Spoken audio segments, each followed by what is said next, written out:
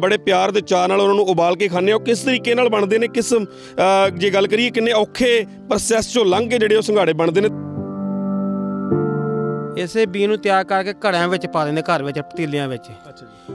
ਘੜੇ ਇਹੋ ਮਗਰੋਂ ਜਦੋਂ ਗਰਮੀਆਂ ਆਉਂਦੀਆਂ ਉਦੋਂ ਇਹਨੂੰ ਥੋੜ੍ਹੇ ਦੋ ਪੰਜ ਛੇ ਮੱਲੇ ਲੈ ਕੇ ਉਹਦੇ ਵਿੱਚ ਸੁੱਟ ਦਿੱਤਾ ਉੱਥੋਂ ਪਨੀਰੀ ਤਿਆਰ ਕਰਕੇ ਇਹ ਸੰਘਾੜਾ ਤਿਆਰ ਕੀਤਾ ਜਾਂਦਾ। ਜੇ ਇਸ ਦੀ ਹੁਣ ਗੱਲ ਕੀਤੀ ਜਾਂਦੀ ਹੈ ਲਾਗਤ ਦੀ ਲਾਗਤ ਕਿੰਨੀ ਕੁ ਆ ਜਾਂਦੀ ਇਸ ਦੀ? ਲਾਗਤ ਝੋਨੇ ਵਾਲੀ ਲਾਗਤ ਆ ਜੀ। ਸਭ ਇਹਨੂੰ ਖਾਦਾਂ ਦਵਾਈਆਂ ਉਹੋ ਹੀ ਪੈਂਦੀਆਂ। ਮੈਂ ਵੇਖ ਰਿਹਾ ਕਿ ਮਿਹਨਤ ਕਾਫੀ ਹੈ ਜਿਸ ਤਰੀਕੇ ਨਾਲ ਠੰਡ ਦੇ ਵਿੱਚ ਇਹ ਮਹਿਲਾਵਾਂ ਕੁਝ ਤੋੜਦੀਆਂ ਨਜ਼ਰ ਆ ਰਹੀਆਂ ਨੇ। ਤੁਸੀਂ ਵੀ ਆਪ ਵੀ ਜਿਹੜਾ ਇਸ ਨੂੰ ਤੋੜ ਰਹੇ ਹੋ। ਮਿਹਨਤ ਕਿੰਨੀ ਕੁ ਇਹਨਾਂ ਵਿੱਚ ਕੋਈ ਹੋਰ ਫਸਲਾਂ ਜਿਸ ਤਰੀਕੇ ਨਾਲ ਤੁਸੀਂ ਦੱਸ ਰਹੇ ਹੋ ਕਣਕ ਜਾਂ ਝੋਨਾ ਨਹੀਂ ਬੀਜਿਆ ਜਾਂਦਾ ਕਿਉਂ ਨਹੀਂ ਬੀਜਿਆ ਜਾਂਦਾ ਇਹਨਾਂ ਵਿੱਚ ਕਣਕ? ਨੀਵੇਂ ਥਾਂ ਨੇ ਜੀ। ਜਦੋਂ ਮੀਂਹ ਪੈ ਜਾਏ ਤੇ ਪਾਣੀ ਹੋ ਜਾਂਦਾ ਜੀ। ਇਹ ਥਾਂ ਪਾਣੀ ਨਹੀਂ ਪੀਂਦਾ ਕੋਈ ਇੱਥੇ। ਠੇਕੇ ਲੈ ਕੇ ਤੇ ਫੇਰ ਕਰੀਦਾ ਵਾ ਕੰਮ, ਫਿਰ ਰੋਟੀ ਤੇ ਖਾਣੀ ਹੈ ਨਾ। ਸਰਕਾਰੀ ਨੌਕਰੀਆਂ ਤੁਹਾਨੂੰ ਮਿਲਦੀਆਂ ਹੀ ਨਹੀਂ ਹੈ ਕਿਤੇ ਤੇ ਹੁਣ ਕੀ ਕਰੀਏ, ਫਿਰ ਖੇਚਲ ਤੇ ਕਰਨੀ ਪੈਣੀ। ਸਤਿ ਸ਼੍ਰੀ ਅਕਾਲ, ਦਾ ਸਮਰ ਨਿਊਜ਼ ਵੇਖ ਰਹੇ ਦਰਸ਼ਕਾਂ ਦਾ ਸਵਾਗਤ ਹੈ। ਮੈਂ ਹਾਂ ਜਗਜੀਤ ਸਿੰਘ। ਦਰਸ਼ਕੋ, ਤੁਸੀਂ ਵੇਖਦੇ ਹੋ ਕਿ ਪੰਜਾਬ ਨੂੰ ਖੇਤੀ ਲਈ ਉੱਤਮ ਮੰਨਿਆ ਗਿਆ ਹੈ ਤੇ ਪੰਜਾਬ ਇੱਕ ਅਜਿਹਾ ਸੂਬਾ ਹੈ ਜਿਸ ਵਿੱਚ ਹਰ ਤਰ੍ਹਾਂ ਦੀ ਖੇਤੀ ਕੀਤੀ ਜਾਂਦੀ ਹੈ। ਖਾਣ ਵਾਲੀਆਂ ਵਸਤੂਆਂ ਦੀ ਜੇ ਗੱਲ ਕਰੀਏ, ਆਪਾਂ ਜੇ ਗੱਲ ਕਰੀਏ, ਫਲਾਂ ਦੀ ਗੱਲ ਕਰੀਏ, ਤੇ ਉਹਨਾਂ ਦੀ ਵੀ ਵੱਡੇ ਪੱਧਰ ਤੇ ਜਿਹੜੀ ਪੰਜਾਬ 'ਚ ਖੇਤੀ ਕੀਤੀ ਜਾਂਦੀ ਆ। ਗਾਜਰਾਂ ਦੀ ਗੱਲ ਕਰੀਏ, ਗੋਂਗਲੂਆਂ ਦੀ ਗੱਲ ਕਰੀਏ, ਜੇ ਕਮਾਦਾਂ ਦੀ ਗੱਲ ਕਰੀਏ ਜਾਂ ਝੋਨੇ, ਕਣਕ ਦੀ ਗੱਲ ਕਰੀਏ, ਤੇ ਉਹਨਾਂ ਦੀ ਵੀ ਵੱਡੇ ਪੱਧਰ ਤੇ ਜਿਹੜੀ ਇੱਥੇ ਖੇਤੀ ਕੀਤੀ ਜਾਂਦੀ ਹੈ। ਤੇ ਨਾਲ ਨਾਲ ਜੇ ਗੱਲ ਕੀਤੀ ਜਾਂਦੀ ਹੈ ਸੰਘਾੜਿਆਂ ਦੀ, ਕਿਉਂਕਿ ਜੇ ਆਪਾਂ ਫਰੂਟ ਕਹਿ ਸਕਦੇ ਆ ਵੀ ਫਰੂਟਾਂ ਦੀ ਵੀ ਜਿਹੜੀ ਗੱਲ ਹੁੰਦੀ ਆ, ਤੇ ਕਿਤੇ ਵੱਡੇ ਪੱਧਰ ਤੇ ਜਿਹੜੇ ਜਿਹੜੇ ਸੰਘਾੜਿਆਂ ਦਾ ਫਰੂਟ ਜਿਹੜਾ ਵਾ, ਉਹ ਸਰਦੀਆਂ ਦੇ ਵਿੱਚ ਵੇਖਣ ਨੂੰ ਮਿਲਦਾ ਹੈ ਤੇ ਖਾਦਾ ਜਾਂਦਾ ਵਾ।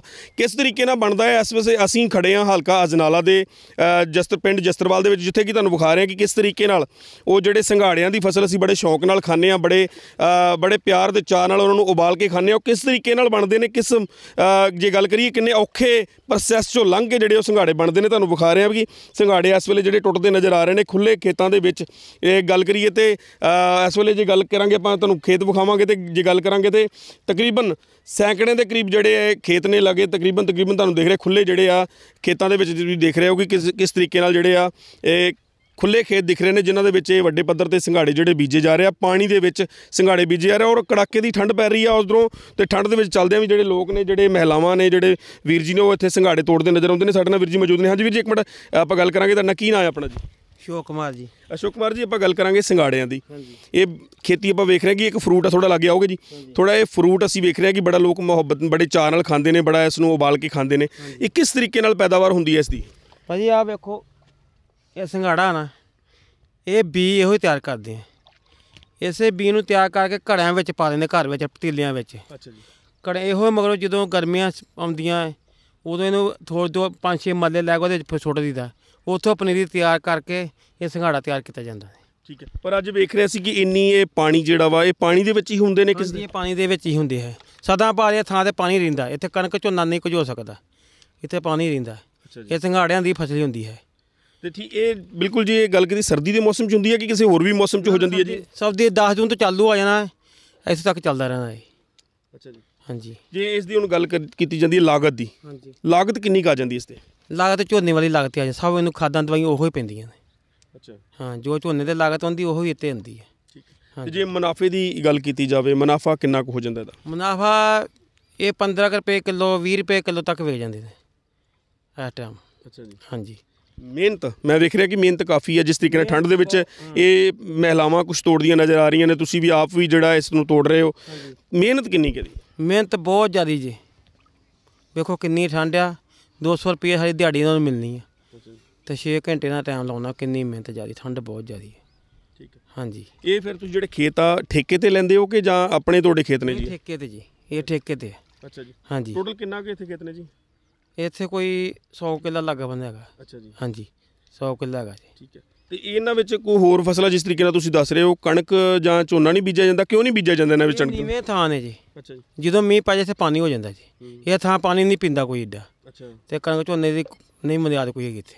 ਠੀਕ ਆ। ਸੰਘਾੜਾ ਹੀ ਹੁੰਦਾ ਕੱਲਾ ਠੀਕ ਆ। ਠੀਕ ਹੈ ਜਦੋਂ ਇਹ ਮਤਲਬ ਲਵਾਈ ਇਹਦੀ ਹੁੰਦੀ ਹੈ ਫਲ ਤੇ ਹੁੰਦਾ ਉਹ ਪਿੰਡ ਨਾਲ ਪਾਣੀ ਲੱਗਾ ਹੁੰਦਾ ਜੀ। ਜੀ। ਹਾਂ ਝੋਨਾ ਨਹੀਂ ਇੱਥੇ ਹੋ ਸਕਦਾ ਕਣਕ ਵੀ ਨਹੀਂ ਹੋ ਸਕਦੀ। ਠੀਕ ਆ। ਸੰਘਾੜਾ ਹੀ ਹੋਏਗਾ।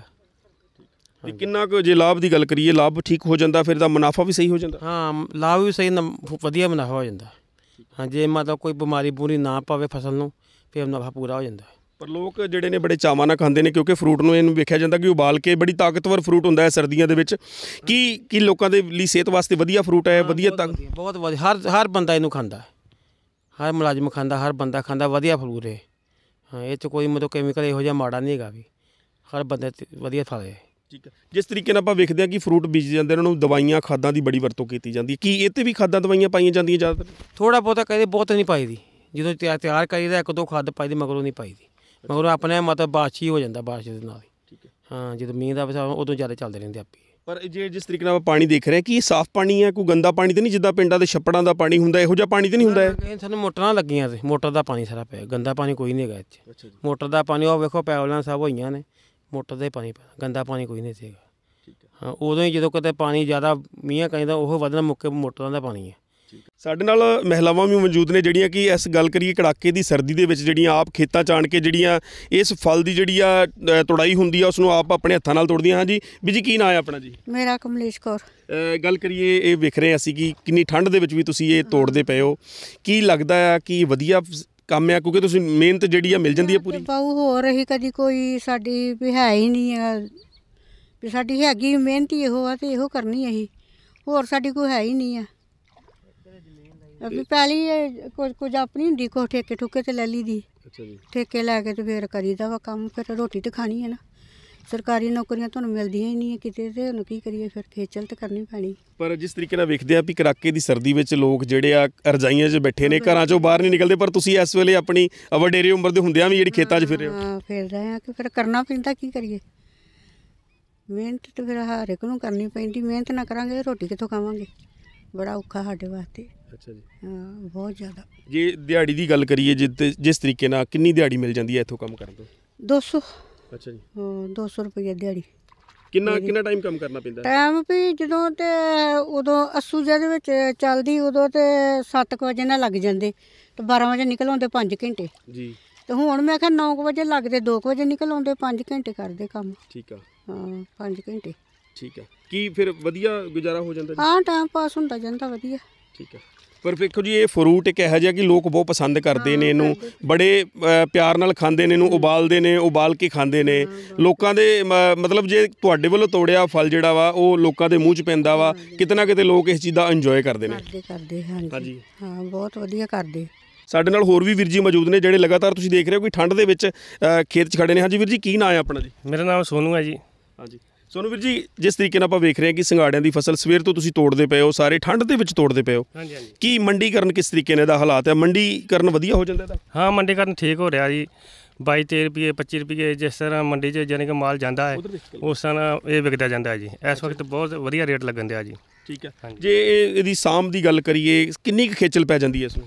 ਖੇਚਲ ਤੇ ਉਹਦੇ ਆਪਾਂ ਕੋਈ ਫਸਲ ਲਾਈਏ ਤੇ 5-6 ਮਹੀਨੇ ਤੇ ਲੱਗ ਹੀ ਜਾਂਦੇ ਆ। ਬਾਕੀ ਚਲੋ ਅਸੀਂ ਇੱਕ ਵਾਰੀ ਲਵਾ ਦਿੰਦੇ ਆ ਨਾਰਮਲ ਦਵਾਈਆਂ ਘੱਟੇ ਪੈਂਦੇ ਆ। ਤੇ ਬਾਕੀ ਐਡੀ ਕੋਈ ਦਿੱਕਤ ਨਹੀਂ ਪਾਣੀ ਪੂਣੀ ਇਹਨਾਂ 'ਚ ਬਥੇਰੇ ਹੁੰਦੇ ਆ। ਇੰਨੀ ਕੋਈ ਗੱਲ ਜ਼ਿਆਦਾ ਖੇਚਲ ਨਹੀਂ ਹੈਗੀ। ਠੀਕ ਹੈ। ਪਰ ਵੀਰ ਜੀ ਸੋਨੂੰ ਵੀਰ ਜੀ ਜਿਸ ਤਰੀਕੇ ਨਾਲ ਆਪਾਂ ਵੇਖਦੇ ਹਾਂ ਕਿ ਜਿਸ ਤਰੀਕੇ ਨਾਲ ਝੋਨੇ ਦੀ ਫਸਲ ਅਸੀਂ ਬੀਜਦੇ ਹਾਂ ਤੇ ਕਾਫੀ ਦਵਾਈਆਂ ਲੱਗ ਜਾਂਦੀਆਂ ਨੇ। ਕਣਕ ਬੀਜਦੇ ਆ ਚਲੋ ਉਹ 'ਚ ਵੀ ਘੱਟ ਦਵਾਈਆਂ ਲੱਗਦੀਆਂ ਪਰ ਝੋਨੇ 'ਚ ਕਾਫੀ ਦਵਾਈਆਂ ਲੱਗ ਜਾਂਦੀਆਂ। ਕੀ ਇਹਦੇ 'ਚ ਵੀ ਜੀ ਸਪਰੇਆਂ ਦਵਾਈਆਂ ਲੱਗ ਜਾਂਦੀਆਂ ਨੇ? ਹਾਂਜੀ ਇਹਦਾ ਨਾ ਆਪਾਂ ਜਿੱਦਾਂ ਲੋ ਕਰਦੇ ਆ ਕੋਈ ਤਿੰਨ ਜਾਂ ਚਾਰ ਲੋ ਕਰਦੇ ਆ ਹਰ ਲੋ ਤੇ ਥੋੜੀ ਬੜੀ ਨਾਰਮਲ ਇਹਨੂੰ ਦਵਾਈ ਪਾਉਣੀ ਪੈਂਦੀ ਹੈ ਜੀ। ਪੀਰੇ ਬੂਟੇ ਜਾਣੀ ਕਿ ਸਹੀ ਰਹਿਣ ਜੀ। ਠੀਕ ਹੈ। ਹਾਂਜੀ ਜੇ ਬੂਟੇ ਸਹੀ ਰਹਿਣਗੇ ਤੇ ਸਾਨੂੰ ਫਸਲ ਜ਼ਿਆਦਾ ਮਿਲੇਗੀ। ਪਰ ਜਿਸ ਤਰੀਕੇ ਨਾਲ ਇਹ ਪਾਣੀ 'ਚ ਰਹਿੰਦਾ ਆ ਇਹਦੇ ਵਿੱਚ ਇਹਨੂੰ ਗਾਲਾ ਵੀ ਪੈ ਜਾਂਦਾ ਹੋਣਾ ਆ ਕਿਤੇ ਨਾ ਕਿਤੇ ਇਹੋ ਜਿਹੀਆਂ ਬਿਮਾਰੀਆਂ ਵੀ ਲੱਗਦੀਆਂ ਹੋਣੀਆਂ। ਹਾਂਜੀ ਹਾਂਜੀ। ਪੈਂਦੀਆਂ ਸਭ ਕੁਝ ਹੁੰਦਾ ਪਰ ਆਪਾਂ ਨੂੰ ਦਵਾਈਆਂ ਹਰ ਤਰ੍ਹਾਂ ਮਿਲਦੀਆਂ ਨਾਰਮਲ ਪਾਈ ਜਾਈ ਦਵਾਈ ਤੇ ਦਵਾਈ ਆਪਾਂ ਜਾਣੀ ਕਿ ਦਹੀਂ ਬਾਹਰੀ ਦੇਣੀ ਤੇ ਇਸ ਤਰ੍ਹਾਂ ਇਹ ਫਸਲ ਬਚ ਜਾਂਦੀ ਹੈ ਜੀ। ਪਰ ਜਿਸ ਤਰੀਕੇ ਨਾਲ ਅਸੀਂ ਵੇਖਦੇ ਪਾਣੀ 'ਚ ਰਹਿੰਦਾ ਇਹਦੇ ਵਿੱਚ ਫਿਰ ਜਿਸ ਤਰੀਕੇ ਨਾਲ ਕੋਈ ਜਾਨਵਰ ਵੀ ਜਿਸ ਤਰੀਕੇ ਨਾਲ ਸੱਪ ਕਹਿ ਸਕਦੇ ਆ ਕਸ਼ੂ ਕੰਮੇ ਹੋ ਸਕਦੇ ਉਹ ਵੀ ਆ ਜਾਂਦੇ ਹੋਣੇ ਵਿੱਚ? ਹਾਂ ਆਉਂਦੇ ਆ ਪਰ ਜ਼ਿਆਦਾਤਰ ਉਹ ਜਦੋਂ ਆਪਾਂ ਪਾਣੀ ਜਾਂ ਵਧੇਰੇ ਇਹਨਾਂ ਜਦੋਂ ਲਵਾਈ ਹੋ ਜਾਂਦੀ ਬੂਟੇ ਜ਼ਿਆਦਾ ਹੋ ਜਾਂਦੇ ਫਿਰ ਉਹ ਨਿਕਲ ਜਾਂਦੇ ਉਹ ਇਹਨਾਂ ਦਾ ਸਾਹ ਨਹੀਂ ਨਿਕਲਦੇ। ਉਹ ਜ਼ਿਆਦਾਤਰ ਮੌਜੂਦ ਨਹੀਂ ਰਹਿੰਦੇ ਪਾਣੀ 'ਚ। ਹਾਂਜੀ। ਤੇ ਪਰ ਮਤਲਬ ਜਿਸ ਤੋੜਨ ਵਾਲੀ ਲੇਬਰ ਨੂੰ ਕਿਸੇ ਤਰ੍ਹਾਂ ਦਾ ਕੋਈ ਨੁਕਸਾਨ ਨਹੀਂ ਹੁੰਦਾ ਜੀ? ਕੋਈ ਨੁਕਸਾਨ ਨਹੀਂ। ਅਸੀਂ ਹਰ ਸਾਲ ਇਹ ਕੰਮ ਕਰਦੇ ਆ ਕੋਈ ਨੁਕਸਾਨ ਅੱਜ ਤੱਕ ਕਿਸੇ ਦਾ ਨਹੀਂ ਹੋਇਆ ਜੀ। ਠੀਕ ਹੈ। ਆਪਣੇ ਹਾਂਜੀ ਆਪਣੇ ਹੱਥੀਂ ਅਸੀਂ ਆਪਣਾ ਮੋਟਰਾਂ ਦਾ ਪਾਣੀ ਇਹਨਾਂ ਨੂੰ ਦਿੰਦੇ ਆ ਤੇ ਮੋਟਰਾਂ ਦਾ ਪਾਣੀ ਵਿੱਚ ਕੋਈ ਯਾਰਾ ਵਗੈਰਾ ਜਾਨਵਰ ਨਹੀਂ ਹੁੰਦਾ ਜੀ। ਠੀਕ ਹੈ। ਪਰ ਜਿਸ ਤਰੀਕੇ ਖਾਣ ਵਾਸਤੇ ਤੁਸੀਂ ਇਹ ਤੋੜਦੇ ਆਪ ਹੋ ਆਪ ਬੀਜਦੇ ਹੋ ਆਪ ਵੀ ਖਾਂਦੇ ਹੋ? ਬੱਚੇ ਖਾਂਦੇ ਨੇ ਆਪਣੇ ਬਹੁਤ ਜ਼ਿਆਦਾ। ਸਾਡੇ ਨਿਆਣੇ ਬਹੁਤ ਕਿੱਲੇ ਕਿਲੋ ਸੰਘਾੜੇ ਕੱਚੇ ਹੀ ਖਾ ਜਾਂਦੇ ਆ ਜੀ। ਅੱਛਾ ਜੀ। ਇਹਦੇ ਇਹ ਟੇਸਟੀ ਤੇ ਸਵਾਦ ਨੇ ਠੀਕ ਹੈ। ਹਾਂਜੀ। ਪਰ ਕਿੰਨਾ ਕੁ ਲਾਹੇਵੰਦ ਹੁੰਦਾ ਹੈ ਜਿਸ ਤਰੀਕੇ ਨਾਲ ਚਲੋ ਆਪਾਂ ਬਾਜ਼ਾਰਾਂ 'ਚ ਤਾਂ ਸਾਰੇ ਕਹਿੰਦੇ ਕਿ ਵਧੀਆ ਹੁੰਦੇ ਨੇ ਪਰ ਤੁਸੀਂ ਤਾਂ ਜ਼ਿਆਦਾ ਇਹਦੀ ਪੈਦਾਵਾਰ ਕਰਦੇ ਹੋ। ਕਿੰਨਾ ਕੁ ਲਾਹੇਵੰਦ ਹੁੰਦਾ ਹੈ ਲੋਕਾਂ ਵਾਸਤੇ? ਨਹੀਂ ਬਹੁਤ ਜ਼ਿਆਦਾ ਹੁੰਦਾ ਹੈ। ਗਰਮ ਚੀਜ਼ ਹੈ ਜੇ ਆਪਾਂ ਕੋਈ ਲਗਾਤਾਰ ਕੋਈ ਮਹੀਨਾ ਦੋ ਮਹੀਨੇ ਖਾ ਲਈਏ ਤੇ ਸਾਡੀ ਸਿਹਤ ਨੂੰ ਪਤਾ ਲੱਗ ਜਾਂਦਾ ਵੀ ਠੀਕ ਹੈ ਅਸੀਂ ਸਿਆਲ ਕੱਟ ਰਹੇ ਹਾਂ ਵਧੀਆ ਚੀਜ਼ ਖਾਧੀ ਹੋਈ ਹੈ। ਹਾਂਜੀ। ਠੀਕ ਹੈ। ਲੋਕਾਂ ਨੂੰ ਕੀ ਅਪੀਲ ਕਰਨੀ ਚਾਹੁੰਦੇ ਜੇ? ਲੋਕਾਂ ਨੂੰ ਅਪੀਲ ਇਹ ਖਾਵਾਂਗੇ, ਦੱਬ ਕੇ ਖਾਓ, ਫਾਇਦੇਮੰਦ ਚੀਜ਼ ਹੈ ਜ਼ਿੰਦਗੀ ਇੰਜੋਏ ਕਰੋ। ਹਾਂਜੀ। ਠੀਕ ਹੈ ਜੀ। ਲਗਾਤਾਰ ਤੁਹਾਨੂੰ ਦਿਖਾ ਰਹੇ ਸੀ ਅਸੀਂ ਇਸ ਵੇਲੇ ਖੜੇ ਸੀਗੇ ਅ, ਗੱਲ ਕਰੀਏ ਸਰਹੱਦੀ ਅਜਨਾਲਾ ਦੇ ਪਿੰਡ ਜਸਤਰਵਾਲ ਵਿੱਚ ਜਿੱਥੇ ਕਿ ਸੰਘਾੜਿਆਂ ਦੀ ਫਸਲ ਦਿਖਾ ਰਹੇ ਸੀ ਕਿਉਂਕਿ ਜਿਸ ਤਰੀਕੇ ਨਾਲ ਆਪਾਂ ਪੰਜਾਬ ਨੂੰ ਜਿਹੜਾ ਖੇਤੀ ਲਈ ਸੂਬਾ ਨੰਬਰ 1 ਸੂਬਾ ਮੰਨਿਆ ਜਾਂਦਾ ਪਰ ਕਿਤੇ ਨਾ ਕਿਤੇ ਫਰੂਟਾਂ ਦੀ ਜਿਹੜੀ ਅ, ਵੱਡੇ ਪੱਧਰ ਤੇ ਇੱਥੇ ਜਿਹੜੀ ਫਸਲ ਬੀਜੀ ਜਾਂਦੀ ਹੈ ਤੇ ਜਿਸ ਤਰੀਕੇ ਨਾਲ ਆਪਾਂ ਵੇਖਿਆ ਕਿ ਸੰਘਾੜਿਆਂ ਦੀ ਫਸਲ ਜਿਹੜੀ ਆ ਉੱਥੇ ਬੀਜੀ ਜਾਂਦੀ ਹੈ ਔਰ ਕਿਸ ਤਰੀਕੇ ਨਾਲ ਬੀਜੀ ਜਾਂਦੀ ਹੈ ਤੇ ਅਸੀਂ ਉਹਨੂੰ ਉਹ ਦਿਖਾਇਆ ਕਿ ਕਿਸ ਤਰੀਕੇ ਨਾਲ ਜ਼ਮੀਨ ਦੇ ਅੰਦਰ ਜਿਹੜੇ ਆ ਪਾਣੀ ਭਰ ਦਿੱਤਾ ਜਾਂਦਾ ਤੇ ਖੇਤਾਂ ਦੇ ਵਿੱਚ ਪਾਣੀ ਭਰਨ ਤੋਂ ਬਾਅਦ ਜਿਹੜਾ ਵਾ ਇਹ ਸੰਘਾੜੇ ਬੀਜੇ ਜਾਂਦੇ ਨੇ ਪਰ ਅੱਜ ਠੰਡ ਦੇ ਮੌਸਮ ਦੇ ਵਿੱਚ ਜਿਹੜੇ ਮਹਿਲਾਵਾਂ ਅਤੇ ਵੀਰ ਜਿਹੜੇ ਨੇ ਲਗਾਤਾਰ ਸੰਘਾਰੇ ਤੋੜਦੇ ਨਜ਼ਰ ਆਉਂਦੇ ਨੇ ਤੇ ਇਹੀ ਫਲ ਜਿਹੜਾ ਜਦੋਂ ਇਹ ਪੱਕ ਜਾਂਦਾ ਆ, ਟੁੱਟ ਜਾਂਦਾ ਆ, ਫਿਰ ਇਹ ਡਿਸਟ੍ਰੀਬਿਊਟ ਹੋ ਕੇ ਜਿਹੜਾ ਵਾ ਮੰਡੀਆਂ ਚਲ ਜਾਂਦਾ, ਮੰਡੀਆਂ ਤੋਂ ਸਾਡੇ ਘਰਾਂ 'ਚ ਚਲ ਜਾਂਦਾ ਤੇ ਸਾਡੇ ਬੱਚੇ ਅਤੇ ਸਾਡੀਆਂ ਮਹਿਲਾਵਾਂ ਅਤੇ ਸਾਡਾ ਪਰਿਵਾਰ ਬੈਠ ਬੈਠ ਕੇ ਅਸੀਂ ਬੜੇ ਸਵਾਦਾਂ ਨਾਲ ਖਾਂਦੇ ਆ। ਪਰ ਅਸੀਂ ਉਹ ਸੰਘਾੜੇ ਦਿਖਾਏ ਕਿ ਬਣਦੇ ਕਿਸ ਤਰੀਕੇ ਨਾਲ। ਹੈ ਬਾਕੀ ਤੁਸੀਂ ਜੁੜੇ ਰਹੋ ਇਦਾਂ ਹੀ ਦਾ ਸਮਰ ਦੇ ਨਾਲ, ਤੁਹਾਨੂੰ ਹੋਰ ਵੀ ਅਸੀਂ ਨਵੀਆਂ ਤੋਂ ਨਵੀਆਂ ਅਪਡੇਟ ਦਿੰਦੇ ਰਵਾਂਗੇ ਤੇ ਨਵੀਆਂ ਤੋਂ ਨਵੇਂ ਫਰੂਟਸ ਵੀ ਦਿਖਾਉਂਦੇ ਰਵਾਂਗੇ ਕਿ ਉਹ ਕਿਸ ਤਰੀਕੇ ਨਾਲ ਪੈਦਾ ਹੁੰਦੇ ਨੇ। ਤੁਸੀਂ ਜੁੜੇ ਰਹੋ ਇਦਾਂ ਹੀ ਦਾ ਸਮਰ ਨਿਊਜ਼ ਦੇ ਨਾਲ ਜਨਾਲਾ ਤੋਂ ਜਗਜੀਤ ਸਿੰਘ ਦੀ ਰਿਪੋਰਟ।